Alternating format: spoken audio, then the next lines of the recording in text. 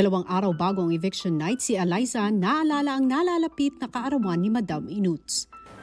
Ilan daw ka na, madam? 37? Anong wish mo sa birthday mo, madam? Ah, yun lang. Good health like family ko talaga. Lalo na si nanay, syempre.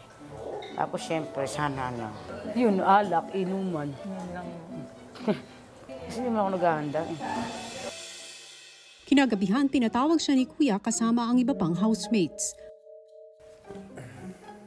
Housemates? Yes, Kuya. Eh, nabalitaan ba kayo tungkol sa isa sa mga housemates niya? Birthday po ni Mama Inuts! Yay! Paano mag-celebrate si Madam ng kanyang birthday? Talaga. Kuya, na banggit niya po kasi kuya, recently lang din, na pag birthday niya po, hindi talaga siya masyado naghahanda po. Opo, actually po talaga si Madam, favorite niya po talaga syempre magkasiyahan. Hindi lang naman po yung pag-iinom kasi yung bonding din po ng bawat isa. Mahilig din po siya kumanta eh. Like, actually, ko din po na-expect na singer po talaga siya. Although she doesn't admit it, pero she does sing talaga. And, ganda ng boses. Oh, ganda po ng boses niya. Housemates? Yes, po kuya. Para magkaroon ng pagkakataon, mabigyan si Madam Minuts ng isang masayang selebrasyon. Handa ba kayong tumanggap ng isang secret task?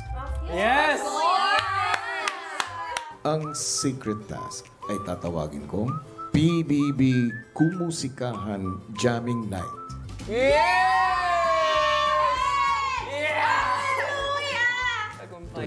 ay magaganap ng live. Bukod dito, meron akong karagdagang hamon kay Katie. Hindi naman iba si Madam Inut sa'yo, hindi ba? Opo. Gawan mo siya ng isang kanta. Sige po. Ang kantang ito ay duet.